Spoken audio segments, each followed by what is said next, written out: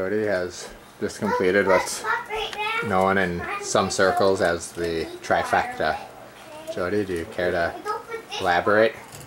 It's when you diligently save at least one sandwich from every day because you either get ham, roast beef, or turkey for lunch. You save one from every day.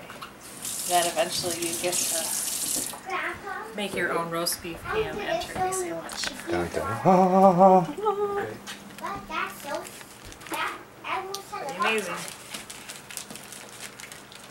Sandwich artists nationwide refer to this as the holy grail of sandwiches.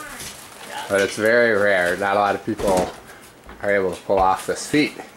Takes a lot of advanced planning. that's the problem. That's the thing, it takes several days of advanced planning. Sure does. Hang on, uh, Jody, What? cleanse your palate. You want the experience to be pure and true. Not tainted by whatever you took a bite of this morning at breakfast.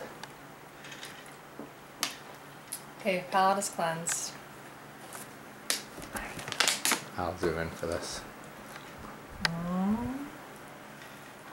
Mm, perfect. Want me to show you the deep fry way? Yeah, show me the deep fryer way, would you? Ah, my nose is on camera. You're zooming down that door. Joe, do you want me to wipe your nose? And Dad, of course, the guide, always hard at work, took us out for the day. Now he's getting ready for the next day. All right, Joe, can you show us about the water? No, What I are you doing? know it's you, Gunky. How's that, Joe?